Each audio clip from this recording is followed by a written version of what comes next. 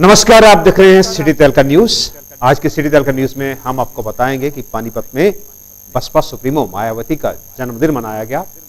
पानीपत में दो बड़ी आपराधिक घटनाएँ हुई और उसके साथ साथ बात करेंगे जींद उपचुनाव की और सिविल अस्पताल में लोगों को कौन कौन सी परेशानियाँ आ रही हैं, उसके बारे में भी आपको बताएँगे। लेकिन सबसे पहले जान लेते हैं इस वक्त की हेडलाइंस। जींद में कांग्रेस प्रत्याशी रणदीप सुरजेवाला के समर्थन में निर्दलीय अंशुल सिंगला ने लिया नाम वापस। सभी दलों के निशाने पर हैं सुरजेवाला।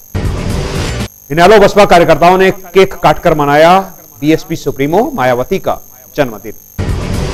पानीपत में पंजाब एंड सिंध बैंक की रेटराइट चौक ब्रांच में हुआ चोरी का विफल प्रयास।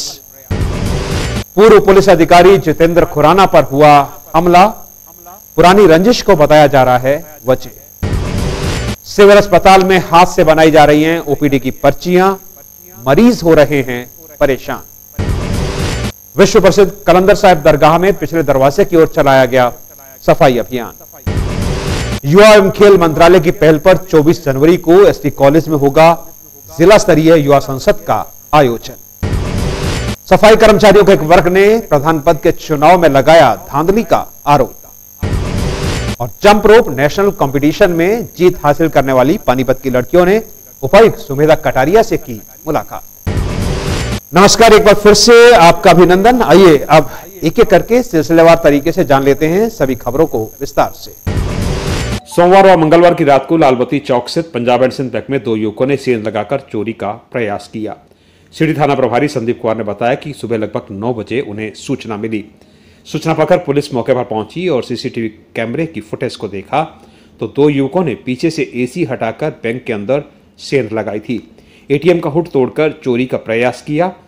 सूचना पाकर CIA one CIA two CIA three और एफएसएल की टीमें मौके पर पहुँची और जाँच शुरू कर दी। थाना प्रभारी संदीप कुमार ने बताया कि मुख्य प्रबंधक सरबजीत सिंह ने अपनी शिकायत में बताया है कि सोमवार की शाम को वे बैंक को अच्छी तरह से बंद करके गए थे और सुबह गार्ड ने जब बैंक खोला तो वो हक्का बक्का रह गया। उसने देखा कि एटीएम का हुड टूटा हुआ था। इसके चलते बैंक में अफरा तफरी मच गई। बैंक को पूरा दिन बंद रखा गया। वहीं मौके पर पहुँचे ग्राहकों ने क्या कहा? आइए आपको ये भी सुनवाते हैं। चोरी खबर मिली है। इसी वजह से यहाँ से हम आया है अपनी इन्फॉर्मेशन लेने के लिए। और जल्द से जल्द हमारे को ये पता चलेगी कितना नुकसान हुआ है, किसका नुकसान हुआ है। अकाउंट नंबर है, और यहाँ पर ये अपना हमारा लॉकेट है अपना। तो हमें चोरी की खबर जैसे ही मिली, हम तुरंत बैंक पहुँचे, यहाँ बैंक बंद मिला। हमें अंदर नहीं जाने दिया जा रहा। इस प्रकार से हमारे ज़िलों में कई प्रकार की संख्याएँ हो रही हैं। कृपया करके हमें पूरी जानकारी डिटेल में दी जाए।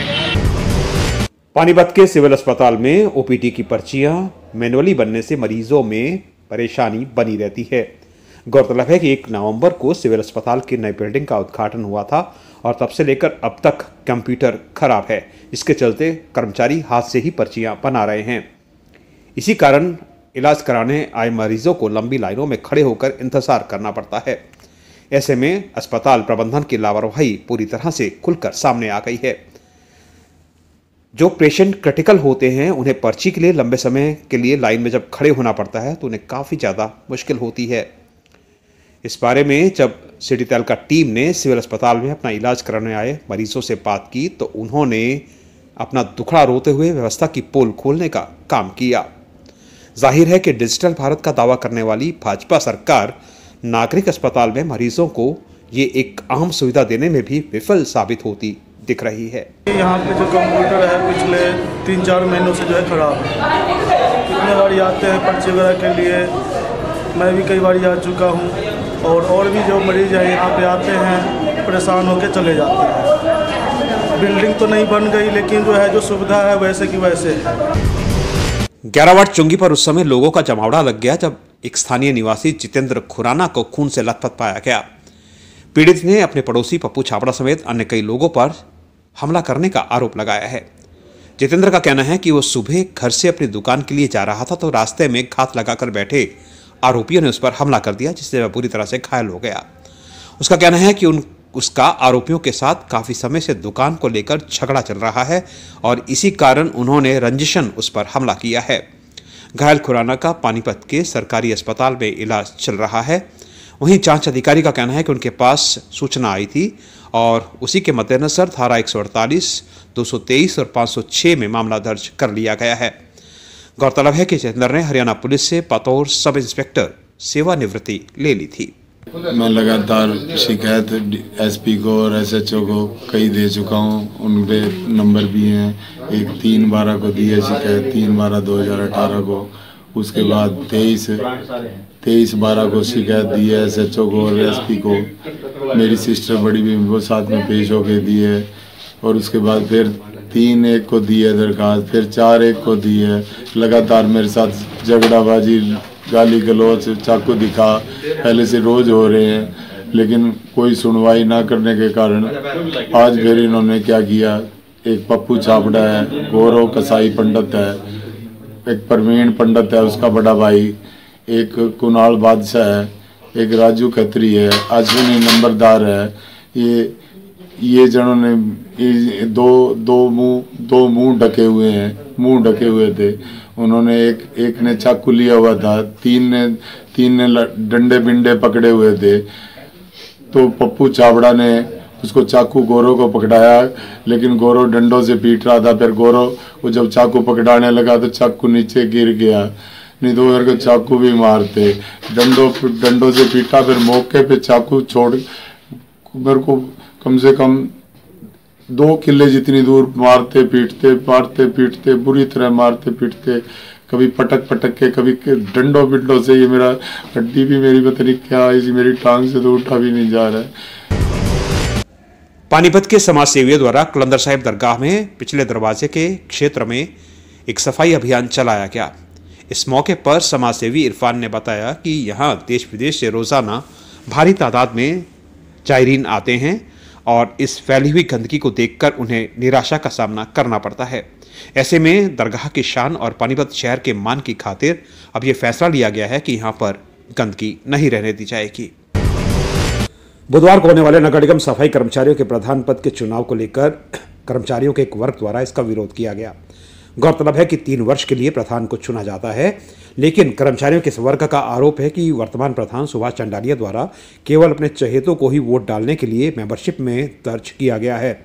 इसी के विरोध स्वरूप काफ़ी संख्या में कर्मचारियों ने सुनील कुमार की अगुवाई में उपायुक्त को ज्ञापन दिया और चुनाव को रद्द करने की मांग की। वहीं उपायुक्त द्वारा इस चुनाव को यूनियन के चुनाव बताते हुए किसी प्रकार का हस्तक्षेप करने से मना कर दिया गया। नगर निगम के सभी सफ़ाई कर्मचारी, जो कि मैडम डीसी से मिलने आए हैं, और हमने हमारे जो पीछे प्रधान है सुभाष चंडालिया, वो हमारे वोट डालने का अधिकार छीन रहा है, हमारी मेंबरशिप नहीं काटी है, और हम इस चुनाव को स्थगित कराना चाहते हैं मैडम से मिलकर, क्योंकि हमारे को हमारे को वोट डालने का अधिकार नहीं दिया। हमने तीस तीस साल हो गए नौकरी करते हुए और हमारे को वोट डालने का अधिकार हमारे से छीन लिया गया। और ये चुनाव जो है रद्द करा जाए और आगे हमारी सभी की मेंबरशिप काट के ने और चुनाव लड़ने का भी अधिकार दिया जाए। महाराष्ट्र के नासिक में हुई जंप रोप नेशनल प्रतियोगिता में पानीपत की बेटियों ने जीत हासिल कर ज़िले और प्रदेश का नाम रोशन किया है। उन्होंने ये साबित किया है कि हरियाणा की बेटियाँ किसी भी क्षेत्र में पीछे नहीं हैं। हमने आपको पहले बताया था कि महाराष्ट्र के नासिक में ये प्रतियोगिता पाँच से आठ जनवरी तक खेली गई थी, जिसमें पानीपत की सात बेटियाँ शामिल हुई थी। उन्होंने छः सिल्वर और एक ब्रॉन्ज मेडल हासिल किया। कोच सुमिता आर्य ने बताया कि पानीपत पहुँचने पर उन्हें आज उपायुक्त सुमिता कटारिया द्वारा बुलाया गया था और उपायुक्त ने पानीपत की बेटियों की खुले दिल से प्रशंसा की। पंद्रहवीं junior national jump rope championship Maharashtra Nashik में हुई थी। अभी उसी में हमारी पानीपत की सात लड़कियों ने पार्टिसिपेट किया था और सभी के मेडल आए।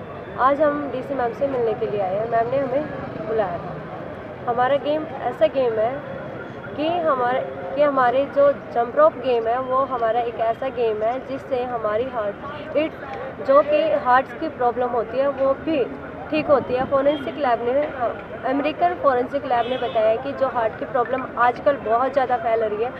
रस्सी कूदने से वो ठीक होती है और इससे हाइट भी बढ़ती है वेट भी लूज होता है और जो भी गेम हम शुरू करते हैं, उससे पहले हम वार्म अप करते हैं, वो रस्सी से वार्म अप करते हैं तो इसलिए हमारा गेम जंप रोप है।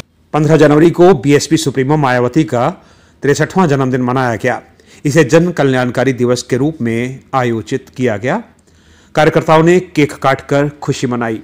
पार्टी के हरियाणा प्रभारी डॉक्टर गुरमुख ने इस अवसर पर अपनी उपस्थिति दर्ज करवाई। उन्होंने जींद उपचुनाव में इनेलो बसपा गठबंधन के प्रत्याशी उमेश सिंह रेड्डू को चेताने की सभी कार्यकर्ताओं से अपील की। के खिताब से नवाजी गई। बहन कुमारी मायावती जी उनका तिरसठवा जन्मदिन पूरे देश के अंदर नहीं, जहाँ जहाँ बहुजन समाज को मानने वाले लोग हैं। विश्व में आज बड़े पैमाने पर आदरणीय बहन कुमारी मायावती जी का जन्म दिवस, जन कल्याणकारी दिवस के नाम पर मनाया जाता है। मैं आपको, सभी को आदरणीय बहन कुमारी मायावती जी के जन्म दिवस पर लख लख बधाई देता हूँ। भारत के युवा एवं खेल मंत्रालय की पहल पर पानीपत के एसटी कॉलेज में 24 जनवरी को जिला स्तरीय युवा संसद का आयोजन किया जा रहा है। प्रधानमंत्री नरेंद्र मोदी ने भारतीय संसदीय प्रणाली को विकसित करने, देश में जन विमर्श को बढ़ाने और युवाओं में संसदीय प्रतिस्पर्धा का ज्ञान बढ़ाने के मकसद से ये इच्छा ज़ाहिर की थी। राष्ट्रीय स्तर पर आयोजित होने वाली संसद में विजेता को दो लाख रुपए उपविजेता को डेढ़ लाख रुपए और तीसरे स्थान पर आने वाले प्रतिभागी को एक लाख रुपए का नकद पुरस्कार दिया जाएगा। प्रिंसिपल डॉक्टर अनुपम अरोड़ा ने बताया कि जिला स्तरीय संसद की जो ज़िम्मेदारी उन्हें मिली है, ये उनके लिए गर्व की बात है। इसमें 18 से 25 आयु वर्ग के युवा अपने विचारों और भावनाओं को सरकार के नुमाइंदों तक पहुंचाएँगे। डिजिटल प्रक्रिया के लिए प्रतिभागी पोर्टल पर 12 से 18 जनवरी के दौरान अपना 90 से 120 सेकंड का वीडियो अपलोड कर सकते हैं, जबकि वॉक इन प्रक्रिया में 17 से 19 जनवरी तक। इच्छुक प्रतिभागी कॉलेज में कोऑर्डिनेटर डॉक्टर राकेश गर्ग या संबंधित कमेटी से मिलकर अपनी प्रेजेंटेशन दे सकते हैं।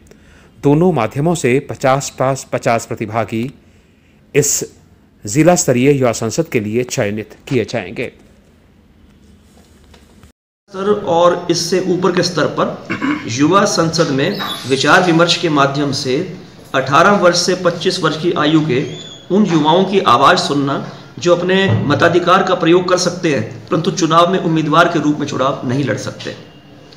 दूसरा, युवाओं को जनता के मुद्दों में सहभागिता के लिए प्रोत्साहित करना, आम आदमी के विचारों को समझना, अपनी राय बनाना और उसे प्रखर तरीके से अभिव्यक्त करना।